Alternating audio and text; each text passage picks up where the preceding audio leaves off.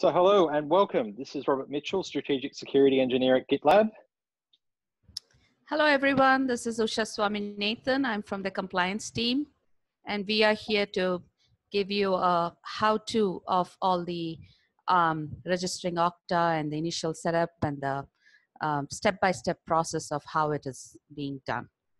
Um, you can see here that I'm logged into my personal email account and I've um, let's assume that I, it's day one for me, um, and I've received this email saying "Welcome to Okta." So mm-hmm. if I open up that email, um, it gives me a great message. Um, for the purposes of this, my name is Alex Tanuki.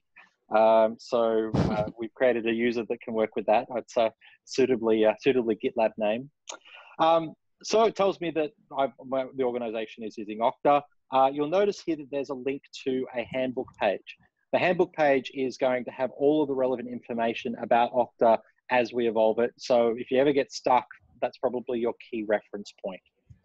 Um, but let's let's jump straight in here. So it's telling us that we need to activate an Okta account. So if we click on this link, you'll see that it opens up a new tab, and okay. it says, "Welcome to GitLab, Alex. Uh, create your GitLab account." So the first thing you'll need to do is enter a password. So let me create a password. Rob, just just to uh, interrupt here, the flow with GitLab's password policy. That's correct. So, so you'll see here that there are password requirements saying that you've got to have at a certain character length, lowercase, uppercase numbers. You can't have it as any part of your username.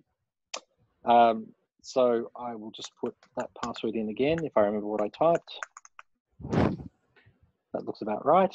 Um, it asks you if you've got a, if you have a forgotten password question. So, um, what's the food you least liked as a child? What is the food you least liked as a child, Usha?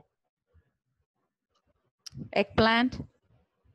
eggplant. Anything to do with eggplant. um, and you can also pick a click picture to be your security image.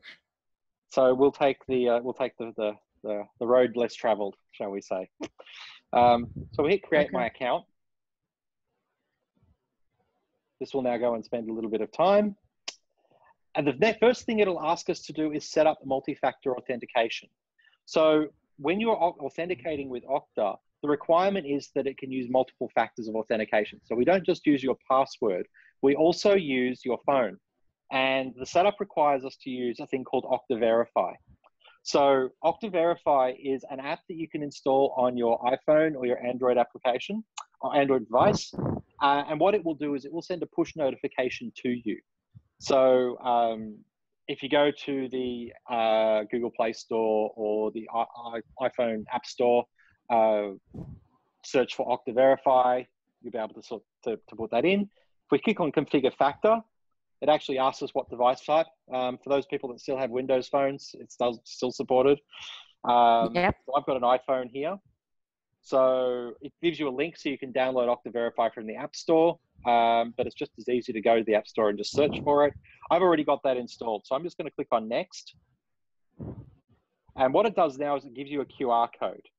So um, I'll now bring up the Okta Verify app. And all you need to do is uh, within the Okta Verify account, just go add account and then use it to scan, use your phone to scan that QR code and it'll pick it up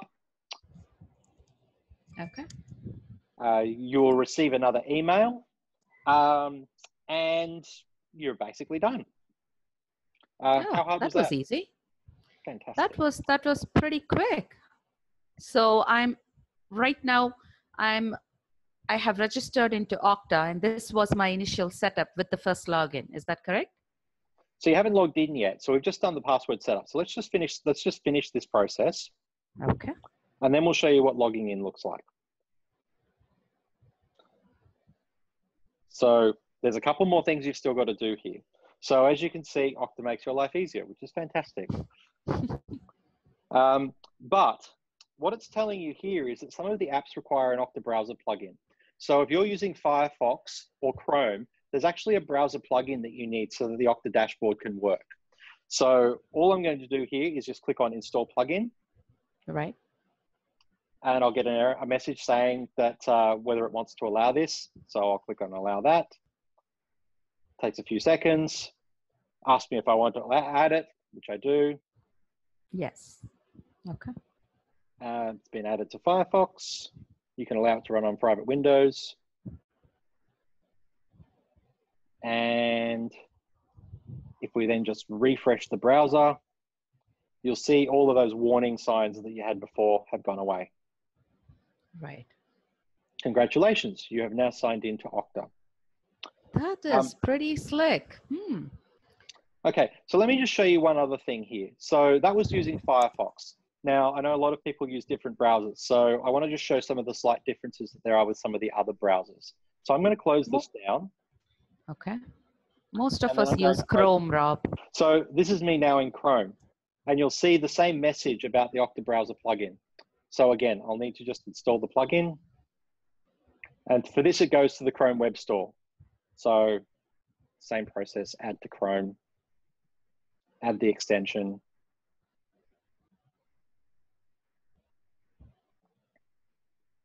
Okay. And if we then go back to my applications and we refresh the browser, voila, we're in. Voila. hmm So um, there are some there are some people out there that uh, also use Safari. Safari is a little bit different in that Safari doesn't support browser extensions. So for Safari, one what you'll need to do is you'll actually need to go to the uh, to the Mac App Store, and much like you did with installing the uh, Okta Verify application, you'll need to choose the um, Okta browser extension.